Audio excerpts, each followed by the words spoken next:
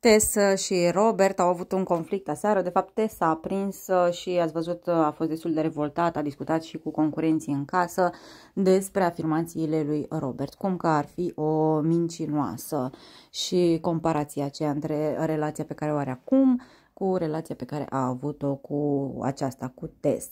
A povestit ceva pe material ce am auzit și eu pe Antena Play, uh, că atunci când a auzit uh, că Steliana a spus despre Ramona, că nu se coboară la nivelul ei, dacă Tessie ar fi spus asta, ar fi făcut pipi în gura ei. Ați auzit-o pe mama lui Cristi când a zis că Fimiu e parfum. În live încă o dată Robert i-a spus uh, uh, lui Tess că ar fi mincinoasă, pentru că spunea că o fie versată, dar el este și mai versat și își dă seama când este mințit sau nu. A făcut-o versată și a făcut-o și actriță pe aceasta. Tess și-a mai exprimat o opinie că a văzut-o pe aceasta că nu a suferit după despărțire și acum cumva vrea să o facă să simtă ce a simțit el după acea despărțire.